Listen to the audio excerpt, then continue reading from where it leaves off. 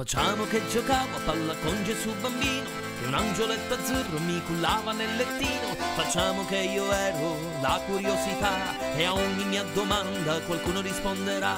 Facciamo che io ero una fata per la città e trasformavo tutto in un campo di lilla. Facciamo che io sono io e che tu sei tu e insieme ascoltiamo la storia di Gesù. C'era una volta, c'era una volta, c'era una volta, ci sarà mille volte. C'era una volta, c'era una volta, c'era una volta, ci sarà mille volte.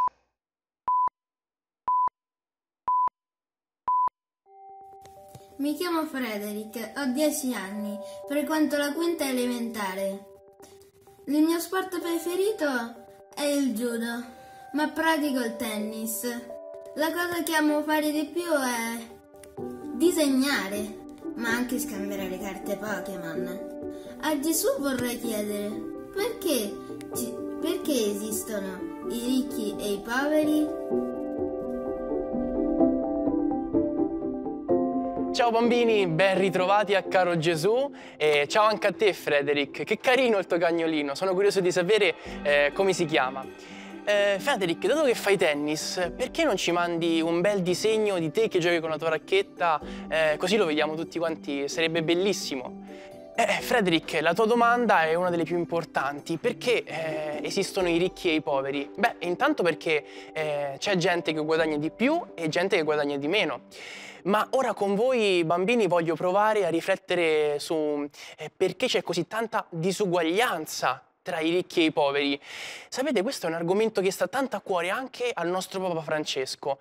Eh, tante volte Papa Francesco ha ricordato alla società di oggi quanto sia importante eh, avere un lavoro, un lavoro che consenta una certa dignità di vita, eh, soprattutto dopo questo virus mh, che ha aumentato ancora di più la disuguaglianza tra ricchi e poveri.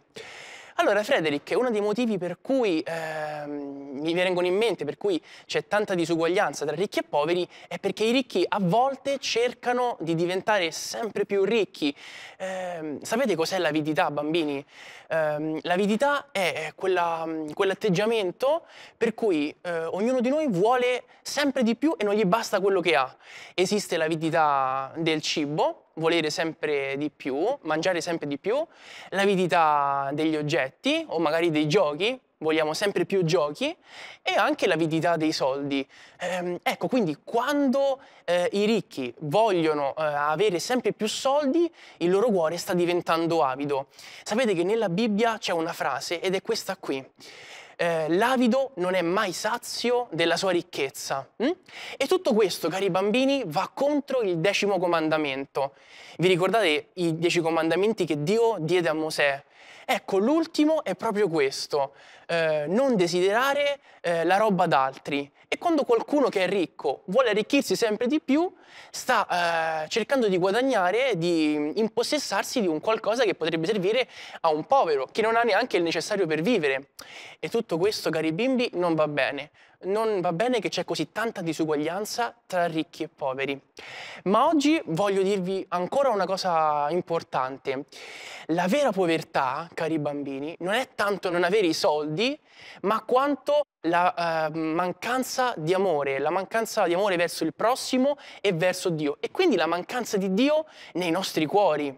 Madre Teresa di Calcutta ci ha insegnato, dando la sua vita completamente per i poveri, che la vera povertà non è tanto la povertà, non avere i soldi, ma il non sapere amare né Dio né il nostro prossimo. Bene, allora è arrivato il momento di aprire il libro di Caro Gesù, quindi venite con me, vediamo oggi cosa ci dirà. E lo Spirito discese verso di lui come una colomba. Questa frase, bambini, eh, ci ricorda proprio il battesimo di Gesù. Cioè, quando Giovanni Battista ehm, battezzò Gesù, dal cielo scese una colomba, scese lo Spirito Santo sotto forma di colomba. E oggi impariamo che la colomba è simbolo di pace e di salvezza. Vi ricordate nel primo libro della Bibbia, nella Genesi, eh, è raccontata la storia di Noè. Cioè Dio aveva visto che tra gli uomini c'era tanta malvagità e aveva deciso di mandare sulla terra un grande diluvio che distruggesse tutto. Ma tra gli uomini aveva visto che ce n'era uno buono, cioè Noè. E allora eh, disse a Noè che l'avrebbe salvato, ma non solo lui, avrebbe salvato anche la sua famiglia e il creato, quindi gli animali. Noè salì sull'arca con tutti gli animali del mondo e dopo questo diluvio eh, liberò una colomba per vedere se Dio si era riconciliato con gli uomini e se il diluvio appunto fosse finito. La colomba tornò ehm, da Noè con un ramoscello d'olivo nel becco, questo per significare che il diluvio ormai era finito e che le acque si erano ritirate dando spazio alla terra asciutta il segno quindi che la salvezza era arrivata per gli uomini. E noi cristiani sappiamo che la pace e la salvezza vengono proprio da Gesù. Eh sì, come la colomba di Noè rappresentò per lui eh, la pace e la salvezza, così Gesù rappresenta per tutti noi uomini la pace e la salvezza eh, donata attraverso la sua morte e risurrezione sulla croce. Ecco perché, cari bambini, la colomba eh, è segno e simbolo dello Spirito Santo, proprio per il battesimo di Gesù, ma è anche segno eh, della pace, hm? grazie alla storia di Noè. Quante volte eh, i maestri e le maestre, quando ci hanno detto di fare un disegno sulla pace, noi abbiamo fatto una colomba. E poi è anche il motivo per cui a Pasqua noi mangiamo la colomba, questo dolce buonissimo. Eh, voi bimbi quale preferite? La colomba? Ah, Ecco, Martina è pronta con la sua storia. Allora bambini, vi lascio a lei, eh, mi metto a sentire la, fiaba, la sua fiaba anch'io e vi do appuntamento la prossima settimana. Ciao bimbi!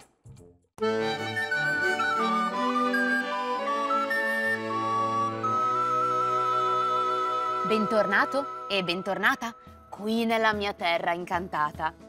La matrigna ha due figlie, ma una la detesta e per tormentarla le fa una richiesta. Anche se inverno e non primavera, voglio un bucaneve oggi, stasera. Sa che è impossibile questa impresa e la poveretta si è ormai quasi arresa quando trova una radura dove stanno tutti insieme i 12 mesi dell'anno.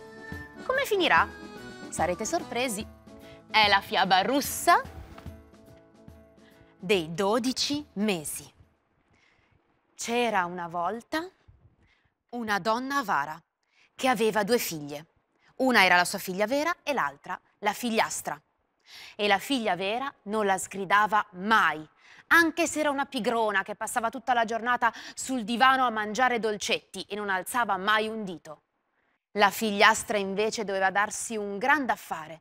La matrigna le faceva fare tutte le faccende domestiche della casa e la spediva anche nel bosco, spesso a far la legna, a raccogliere frutta e a raccogliere piante ma non si lamentava mai e faceva tutto sempre di buon grado. Arrivò infine un inverno gelido. Era un mese di gennaio particolarmente freddo. La gente non vedeva l'ora di rintanarsi in casa la sera. La figliastra aveva lavorato tutto il giorno in cortile a spalare la neve che continuava a cadere. Finalmente era in casa, davanti alla stufa, si riscaldava e si riposava e intanto faceva la calza. La matrigna andò alla finestra e scostò la tenda. Guardò la bufera di neve che infuriava fuori. Poi rivolse lo sguardo alla figliastra e le disse Prendi lo scialle, in fretta, prendi il cestino ed esci, vai nel bosco a raccogliere un po' di bucaneve perché domani è l'onomastico di tua sorella e vogliamo festeggiarla. La figliastra pensava che la matrigna scherzasse e con un filo di voce le rispose Ma, ma è gennaio, ma è presto per i bucaneve. Prima di marzo non ce ne sono. Non troverò nulla nel bosco se non freddo e neve e buio. Mi perderò. Beh, anche se ti perdessi, nessuno sentirebbe la tua mancanza, rispose la figlia pigra, quella che stava sul divano. E sbrigati ad andare, perché io voglio i bucaneve per il mio onomastico, non hai sentito? La figliastra prese a tremare, non per il freddo, ma per la paura. Però prese lo scialle, il cestino, e uscì nella tormenta di neve. Camminò e camminò verso il bosco, faceva un freddo ed era buio, si vedevano solo i fiocchi di neve e poi nel bosco neanche quelli. La ragazza ad un tratto decise di fermarsi. Si sedette sul tronco di un albero, pensando che congelare qui o congelare là non cambiava proprio niente. Quella era la sua fine. E mentre se ne stava lì a disperarsi, vide una luce poco più avanti e pensando che fosse magari il falò di qualche cacciatore o una casetta, si avvicinò. Arrivò in una radura dove c'era davvero un falò e intorno al falò 12 stranieri.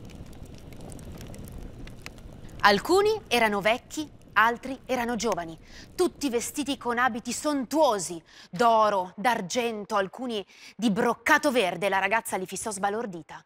Il più vecchio si voltò verso di lei e le chiese Ma che cosa ci fai? Con questo freddo, con questo buio in giro per il bosco? Sono venuta a cercare dei bucaneve. Bucaneve a gennaio, ma questa non si è mai sentita. Cosa ti è venuto in mente? Ma non è venuto in mente a me, è stata la mia matrigna, rispose la ragazza e racconta tutta la storia. I dodici stranieri si guardarono senza dire nulla e poi uno dei più giovani balzò in piedi e fece Ma dai fratelli, la conosciamo tutti questa ragazza. Tutti l'abbiamo incontrata almeno una volta nel bosco. Conosce la natura, rispetta le stagioni.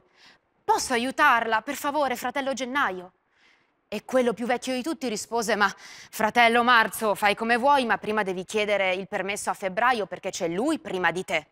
E un altro più anziano disse, va bene, per lei possiamo farlo. Ora il più vecchio di tutti, quello chiamato Gennaio, aveva un bastone che sembrava quasi uno scettro e lo batté a terra dicendo, gelo non gelo, di neve solo un velo. La ragazza sentiva che qualcosa stava cambiando, ma non sapeva cosa. Poi Gennaio diede il bastone a Febbraio, che disse vento non vento, solo un momento. E poi diede il bastone a quello giovane Marzo, che a sua volta disse gelo non gelo, vento non vento, fiori fiorite, Marzo è un portento. La ragazza sgranò gli occhi perché il bosco adesso sì che era cambiato. La neve si era sciolta, si erano dischiusi boccioli di fiori e gemme sugli alberi e c'era un'aria frizzante, un'aria di primavera. Non stare lì impalata, abbiamo soltanto un'ora, vieni, disse Marzo. La prese per mano e la portò con sé nel bosco. Ma già dopo pochi passi, la ragazza ai suoi piedi vide uno stuolo di bucaneve appena nati, profumatissimi. Non riusciva a credere ai suoi occhi, ma non voleva perdere tempo. Si inginocchiò a terra, raccolse una bella manciata di bucaneve, riempì il cestino e poi ne prese altri, altri ancora, tutti li mise nel grembiule.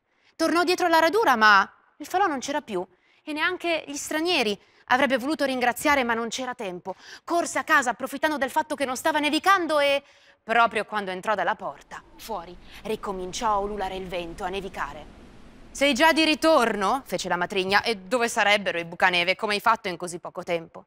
E la ragazza vuotò sul tavolo il cestino e il grembiule. E la matrigna e la figlia guardarono senza capire. Allora la ragazza spiegò tutta la storia e alla fine la sorella pigra disse sei stata davvero una sprovveduta. Hai incontrato i 12 mesi e hai chiesto soltanto dei bucaneve, poveraccia.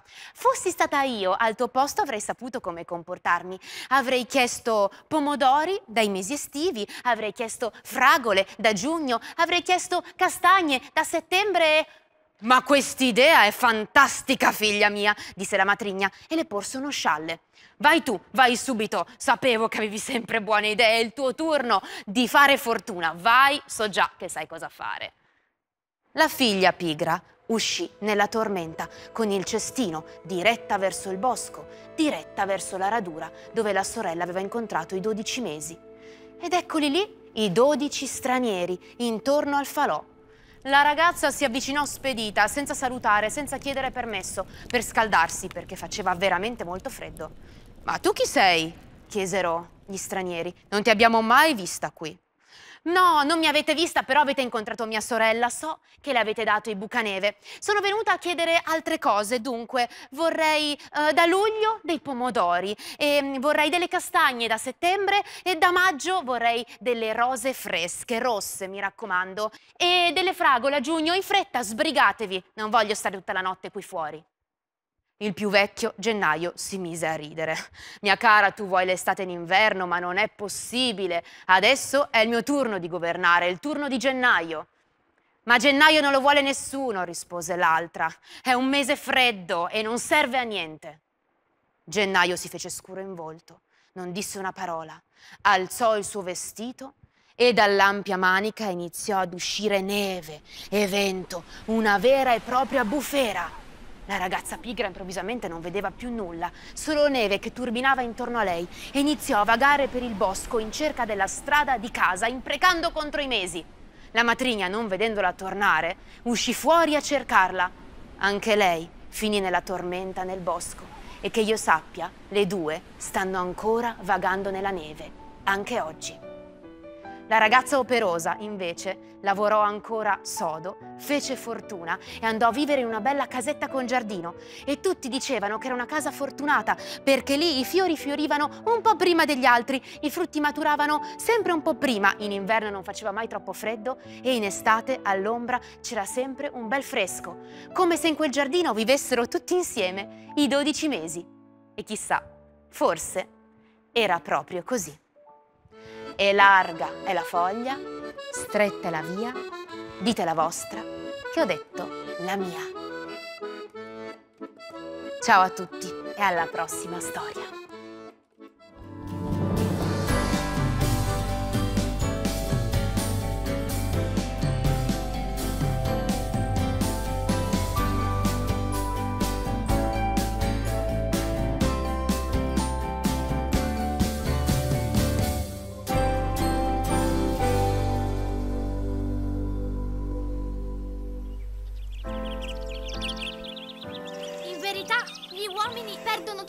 Lasciano in questo mondo, ma rimarrà il valore della loro carità e delle elemosine che hanno fatto in vita.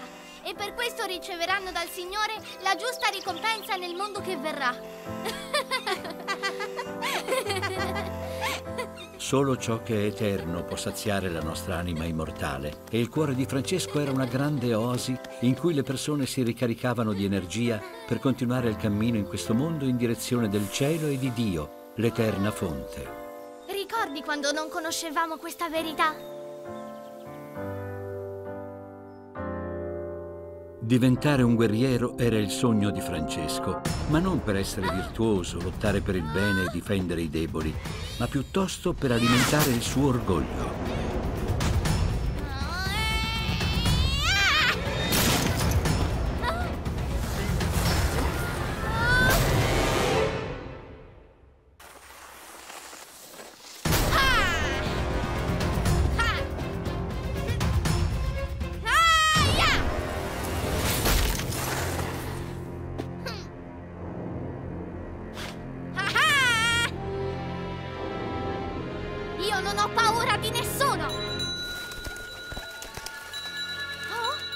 Francesco sentì un suono di campanelle e sapeva bene da chi proveniva. Erano i lebrosi che in quel periodo gli comunicavano un sentimento di orrore.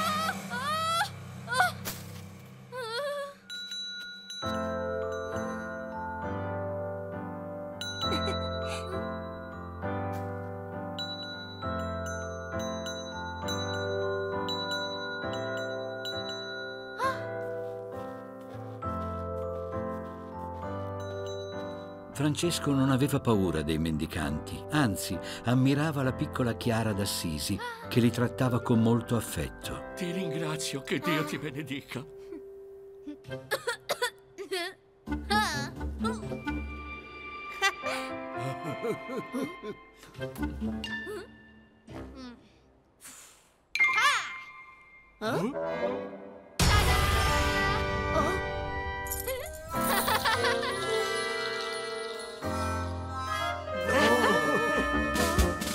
Francesco si sentì ispirato da Santa Chiara, ma al contrario di lei lo faceva per vanità e la vanità è la madre di tutti i vizi. Oh.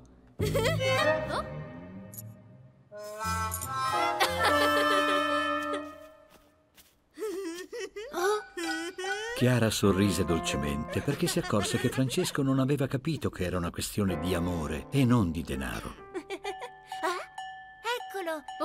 Il mio grande amico Lazzaro. Mm.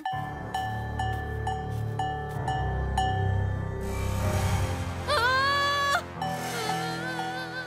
Vieni con me, Francesco. Voglio presentarti il mio amico.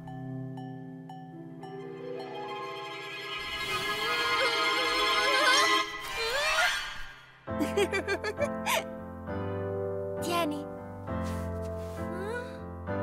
Francesco approfittò di un loro momento di distrazione e fuggì senza che se ne accorgessero.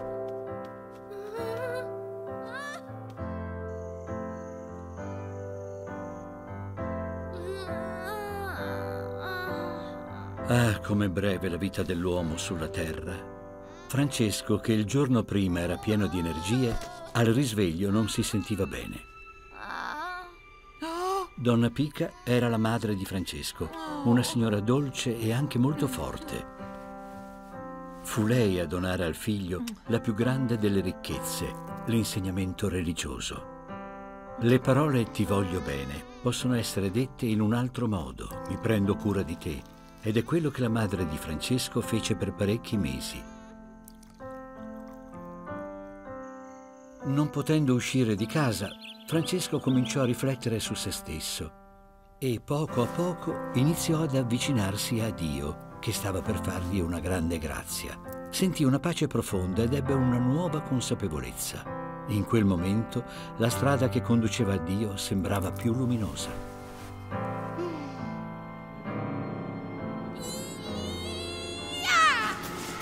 Si vergognò di come si era comportato fino a quel giorno e sentì che doveva cambiare profondamente. Aiutami. Per amore dell'amore. non mi tocchi! Per favore, non mi faccia del male! Non mi tocchi! Per favore!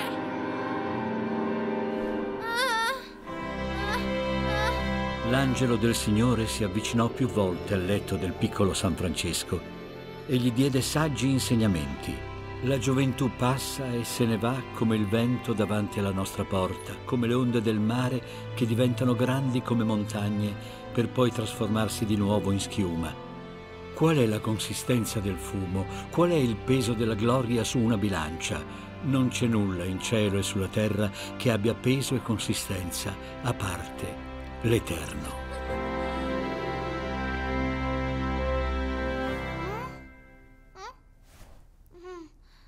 Figliolo, ti senti meglio? Mamma, che bello vederti! Aiutami ad alzarmi, sto meglio!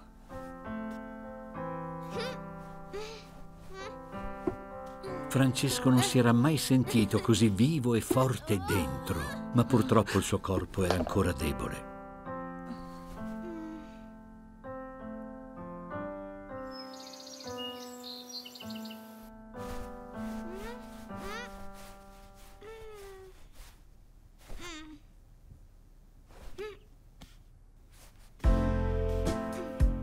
Dopo aver fatto quel viaggio interiore e aver scoperto tanti bellissimi orizzonti dentro di sé, era ora di vedere il mondo con occhi nuovi.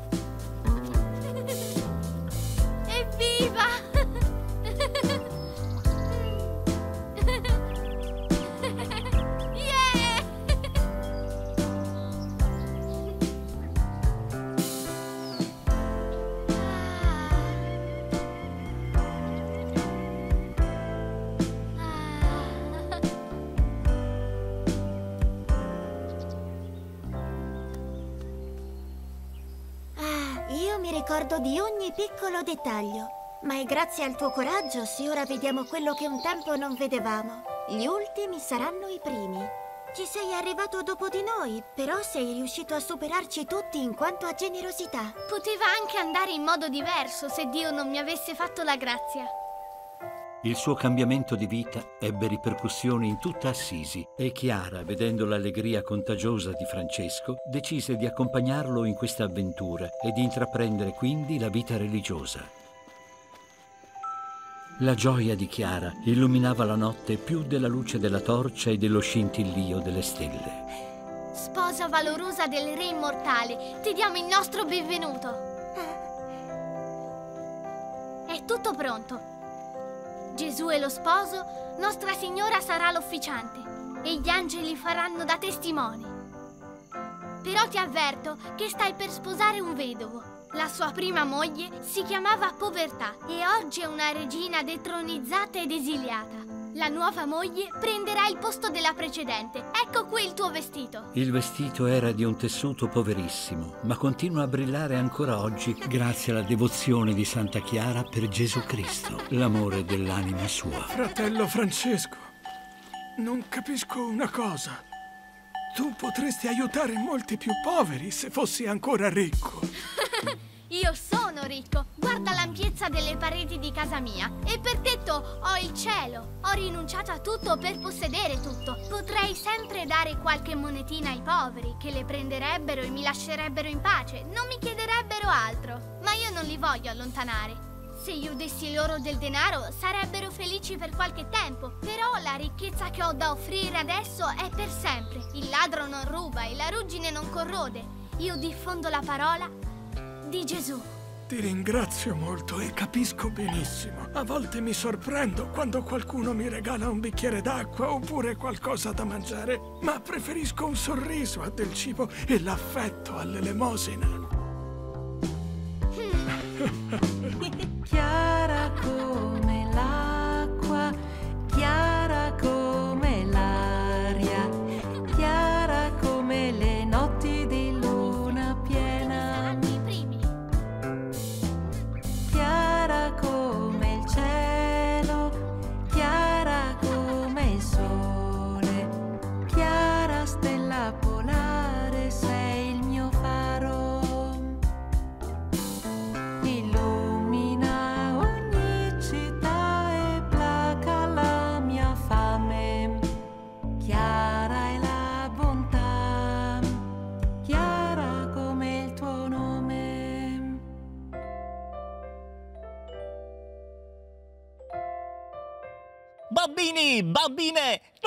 Volate via! Preparate carta, forbici e colla a caldo. Dindon Art è pronto a proporvi una super idea creativa e riscaldate la voce per cantare con Suor Roberta. A fra poco! Facciamo che io ero la curiosità e a ogni mia domanda qualcuno risponderà. Oh, ciao bambini, ciao bambine! Sapete come si dice? L'Epifania tutte le feste le porta via. Oh, che tristezza, è ora di tornare a scuola! Ma rallegriamoci guardando i vostri disegni. Oh, questo me l'ha spedito Penelope. Ma è come la tessitrice. Chissà se tu sai tessere. Lo faceva tua nonna probabilmente. Oggi i vestiti li compriamo già belli fatti. Ma è un nome molto antico. È infatti la sposa di Ulisse. Ah, ah, vorrei essere anch'io come Ulisse. Navigare per i sette mari, anzi, volare. Sai Penelope, tutte quelle stelle e la stella cometa mi fanno venire già nostalgia del Natale. E anche quel cappellino così festoso mi fa pensare che è trascorso le vacanze piena di gioia e di amore. Bambini, bambine, fate come Penelope e mandateci i vostri lavoretti a Caro Gesù, senza accento sulla U, chiocciola tv2000.it. E poi ah, mi è arrivata questa foto dalla scuola elementare Anna Franz Celli di Roma. È il presepe realizzato dai bambini della scuola. Com'è originale, ma avete visto che carine le pecorelle fatte con i sassi? Ma, ma, ma, ma i personaggi li riconoscete? Ah, sono quelli che ha realizzato qualche settimana fa Dondino! Vieni a vedere, Dondino! Ah!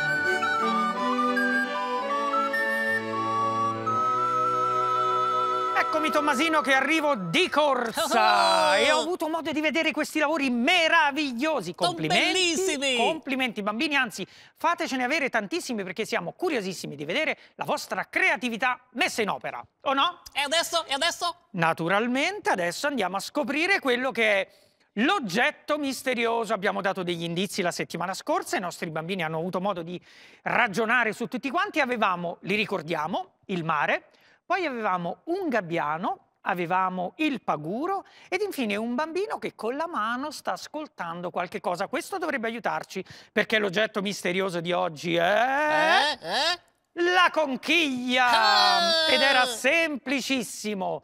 Allora bambini, l'oggetto quindi l'abbiamo scoperto è proprio la conchiglia e con questo oggetto andremo a realizzare qualche cosa di veramente simpatico e Che creativo. cos'è? Che cos'è? Che cos'è? Guarda un po' che Tommasino è super curioso. Ho pensato di realizzare un album. Eh, questo che ho realizzato è il mio battesimo, con dentro lo spazio per contenere tutte le nostre fotografie. Perché no? In questa metterci quelle proprio del nostro battesimo. Allora, sei curiosa di sapere come si realizza? Ma certo, voglio E farlo cominciamo anch'io! subito. Allora, prima operazione da fare, prendiamo dei cartoncini. Ce ne occorrono il numero sufficiente per le pagine. Io ne farò uno piccolo, quindi ne utilizzerò solamente tre di cartoncini, però sono sufficienti per mettere tante foto. Ciò non toglie che ne possiamo realizzare tanti di album. Anche Allora, mille? Mille sono un po' troppi, però un numero, 10 album li possiamo realizzare, uno per ogni festa, per il compleanno, per il battesimo. Bambino, ma chi le stampa più le foto ormai? Usano Eh, tutti i questo è un cellulari. problema, infatti i nostri album ci vengono in soccorso per, in modo tale che le stampiamo e le mettiamo all'interno. Però non farmi perdere troppo tempo, altrimenti i bambini a casa si annoiano. Pieghiamo un foglio in due, in questo modo. Che cosa andremo a fare ora? Stando molto molto molto attenti con il mio taglierino e quando utilizziamo strumenti un po' pericolosi dobbiamo farci aiutare da quelli più grandi. Quindi bambini, il taglierino si utilizza con la mamma, con il papà, con il fratello più grande. Andremo a creare delle piccole asole, vale a dire dei piccoli buchetti che serviranno poi per fare un lavoro particolare. E come facciamo? Ecco, quindi ritagliamo questi piccoli quadratini in questo modo, stando attenti a non tagliare il supporto sotto. E le Io dita sono sopra? stato delicatissimo, eh, perché mi sono dimenticato di prendere un, un supporto per non tagliare il tavolo, però sarò attentissimo. Voi bambini naturalmente potete utilizzare per fare questo lavoro anche il tagliere che si usa in cucina, quello una volta pulito, lavato e asciugato per bene andrà benissimo. Quello che lo utilizziamo per cucinare tantissime pietanze da mangiare. Certo, soprattutto le verdure. Ma So- le noccioline sono verdure? No, le noccioline non sono delle verdure. Sono noccioline. Anche le- perché le, le noccioline tu le mangi già tostate o le mangi crude? Come le Ah, preferisci? A me piacciono crude, cotte, caramellate, non stufate. avevo dubbi. Dondino, ma ascolta, Dimmi. nella tua parrocchia hai mai fatto qualche battesimo? Qualche, ne ho fatti tantissimi. Uh, sono tanti anni che sono sacerdote, quindi ne avrò fatti forse più Un di milione? 200. No, più di 200 sicuramente. Ormai i bambini che ho battezzato, la- la- il primo anno che ero sacerdote, sono già grandi, andranno alle scuole medie. Ma ti vengono a trovare ancora? Forse ci vedranno anche su Caro Gesù. Sì, che mi vengono a E trovare. allora come no. salutiamoli! Certo, li salutiamo tutti, i bambini battezzati da Dondino. Allora, ho fatto questo lavoro, guardate attentamente, quindi quando lo apriamo è così. Ne occorrono tre. Io me li sono già preparati per una questione di tempo e di velocità.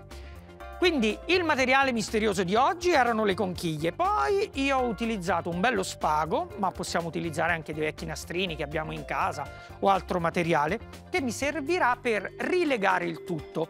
Allora, questo che vi ho fatto vedere ho creato una sorta di, piccolo, eh, di piccola piega, però questa volta voglio fare con, il, con, il, con lo spago a vista perché è molto più bello. Dondino, Quindi- ma sai che anche a me serve lo spago? Per farci cosa? Perché ti do sempre spago. Che spiritoso il nostro Tommasino, se non ci fosse lui con le sue super battute Ma divertentissime. anche con le mie super canzoni. I'm singing in the rain, just singing in the rain. What Temevo proprio questo. I'm happy again. Tommasino, mi chiedevo, ma perché? Perché non prendi esempio da Giuliano, il pellicano? Perché? Vedi, sta lì, buono, tranquillo, Ma lui sereno, sta zitto. non parla. Eh, Giuliano, tu non canti? Non canta, Vedi? non parla. niente, dovresti prendere esempio da Giuliano. Lui è lì, zitto, tranquillo, sereno. Invece lui deve cantare. Ma io mi E diverto, cantando, Dondino. naturalmente, bambini, eh, perde tempo e non fa il lavoro che deve fare. Giusto, a che punto eravamo rimasti? Ecco, ah, visto? Allora, sono, sono rimasto al punto che ho iniziato già a legare, quindi sono andata un pochino avanti. Uno, due e tre. E tre, è l'ultimo. Poi passo alla parte più divertente, però, eh? Sai qual è? Qual è, qual è, qual Le decorazioni che mi divertono tantissimo. è? Allora, chiudiamo e tagliamo. Dondino, ma questi Vedete lavoretti che carino, bambini? Li fai anche coi bambini in parrocchia, questi lavoretti? Certo, gli stessi che ho battezzato, che adesso sono diventati grandi, fanno questi lavoretti e siamo veramente contenti perché ci ritroviamo quasi ogni settimana per fare queste idee creative. Allora, ti faccio vedere ad ora come si realizza questa cornice perché è un pochino complicato, quindi stai attento e sigilla il becco. Lo sigillo Mi con lo raccomando. spago. Allora bambini ci occorrerà un foglio quadrato, quindi un modulo quadrato in questo modo, lo andremo a piegare prima da una parte, trovando questa diagonale, e poi dall'altra parte, tracciando la seconda diagonale. Ora la punta andrà portata al centro, in questo modo. La punta andrà portata al centro, in questo modo. La terza punta, Tommasino, dove? Al lato! Al centro. Al centro? Uguale. Quarta punta al centro, in questo modo. Perfetto. Ora apriamo di nuovo e bisogna fare la punta, la portiamo su questa piega che si è ottenuta, così. Questa la portiamo sulla piega ottenuta, è molto più semplice a farsi che a dirsi, bambini. Eh? Se vedete questa operazione è molto molto molto semplice. Perché poi con un punto di colla a caldo, guardate un po', si ottiene una piccola magia perché andremo a chiudere così. Così. Anche Così. questo. Anche il terzo. Anche il terzo, bravissimo, e anche il quarto. E voilà! Hai capito Giuliano? Prendi appunti. Ma Giuliano è attento su questo, sei tu sempre distratto e chiacchierone, Tommasino. Non lo so, mi sembra pensieroso Giuliano il pellicano. Lo incollo al centro e voilà! Ed ora passiamo a decorarlo con il nostro spago. Questo mi piace tantissimo perché lo rende ancora più naturale questo spago, quindi lo utilizzo sempre con piacere. Quindi facciamo delle linee decorative, così, mettiamo un punto di colla a caldo, senza scottarci. L'hai mai fatto per qualche. per qualcuno dei tuoi battezzati in parrocchia questo album? Questo no, però ne ho fatti per... ehm, eh, ma sarebbero troppi da realizzare, ogni, ogni mese ne, ne battezzo tantissimi. Quindi però ne ho fatti per dei compleanni, e dentro ci conservo anche i ricordi, i viaggi, tanti viaggi che, che conservo all'interno. Quindi metto delle foto e poi le conservo. Un giorno sarai curioso di vedere una tua foto del battesimo. Non ne ho adesso, No? però te la porterò, dai. Oh, sì. Promesso che te la porterò. Io invece le tue le ho viste che eri in plume, senza piume, piccolo piccolo, Ma con certo, un becco gigante. Tu hai visto anche Eri le mie proprio foto. carino. Hai visto anche le mie foto da uovo. Sì, prima ancora. Era un uovo tutto colorato. Allora, Oh, la conchiglia! la nostra conchiglia, finalmente. Ma Utilizzo- Tondino, ma perché la conchiglia? Allora, la conchiglia devi sapere che è un oggetto che ci riporta alle nostre origini, perché la conchiglia è quello strumento che veniva utilizzato per, per battezzare, quindi ci riporta alla bellezza della nostra vita, ci riporta alle origini e poi eh, i pellegrini la utilizzavano addirittura come, come stoviglie. Quindi se tu guardi una delle immagini più, più particolari che è San Giacomo di, di Compostela, e lui ha proprio questa conchiglia che utilizzava per bere e per mangiare, quindi ha sempre questo significato anche di accoglienza. È vero, perché no? quando svolazzavo in Spagna, sopra il cammino di Santiago, vedevo tanti pellegrini con le conchiglie. Visto?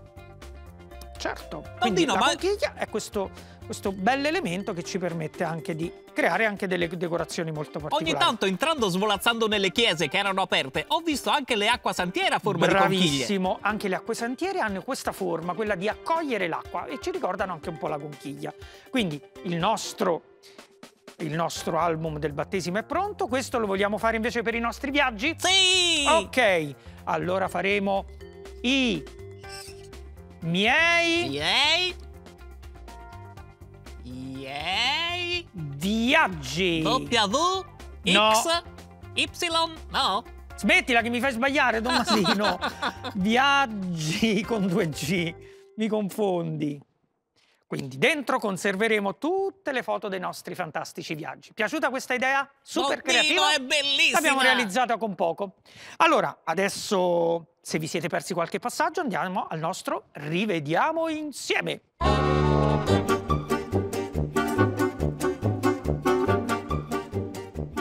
Realizzare il nostro album partiamo proprio dai fogli che lo comporranno, quindi pieghiamo tre cartoncini al centro, creiamo le nostre piccole asole, occorrerà fare tre piccoli quadratini con il taglierino stando molto molto attenti e lo facciamo per tutti e tre i fogli. Passiamo ora a legarli con uno spago oppure con dei nastrini o quello che preferiamo, in modo tale da renderli e reggerli tutti e tre insieme. Passiamo ora a decorare. Quindi andremo a realizzare la nostra piccola cornice. Da un modulo quadrato portiamo le punte al centro, ancora al centro portiamo gli angoli, li pieghiamo e creiamo la piccola cornice che servirà per accogliere la nostra conchiglia e la piccola bottiglia oppure altri elementi che preferiamo. Li incolliamo al centro, decoriamo con un bello spago o con tanti altri elementi che preferiamo e diamo il titolo al nostro album. Noi abbiamo realizzato quello dei nostri viaggi, quindi scriviamo i miei viaggi. I nostri album creativi sono prontissimi. Allora Tommasino, anche questa settimana una simpatica idea che ci ricorda un po' le nostre vacanze, il caldo dell'estate, anche se adesso siamo in questo tempo meraviglioso. Guardate il nostro bosco, è tutto innevato. Anzi, io e Tommasino abbiamo preparato due pupazzi di neve, guardate che belli. Voi bambini ne fate? Fateceli vedere, fateceli avere le foto, eh, le piccole costruzioni dei vostri pupazzi di neve perché siamo curiosissimi. Dai l'appuntamento! Ma certo, e fate anche pupazzi di neve a forma di pappagallo, mi raccomando, e mandateceli a Caro Gesù, senza accento sulla U, chiocciola tv2000.it. Ciao bambini! Ciao!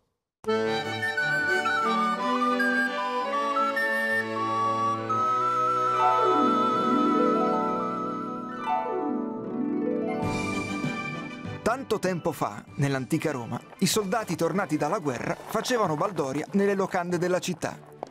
In una di queste lavorava come cameriera Elena, una ragazza umile e gentile, nata dalla famiglia di un oste. Ancora giovinetta, viene data in sposa ad un famoso soldato, Costanzo, ben presto nominato Cesare, cioè vice imperatore. Una volta diventato importante, però, Costanzo si sceglie una moglie più nobile e caccia la povera Elena. La ragazza è costretta ad andarsene da sola con il loro bambino, ancora molto piccolo.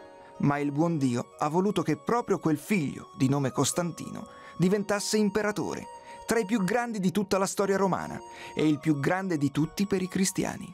Un giorno, mentre si preparava ad una battaglia importante per conquistare Roma, gli appare una croce luminosa e Costantino, preso da tanto stupore, si converte alla fede in Gesù.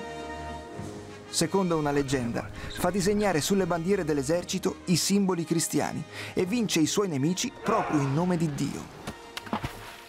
Da quel giorno una legge dà ai cristiani di tutto l'impero la libertà di credere e pregare. Basta persecuzioni, basta paura. Anche Elena si converte e abbraccia la fede cristiana. E da allora spese tutta la vita in elemosina e opere di bene per i più poveri. A partire da Gerusalemme, dove aveva predicato Gesù, e poi in tutto il mondo, fece costruire splendide chiese per i cristiani. Ed è lei ad aver fatto cercare i resti del Santo Sepolcro e le reliquie della vera croce di Cristo, che sono conservate e pregate proprio a Roma, nella chiesa di Santa Croce in Gerusalemme.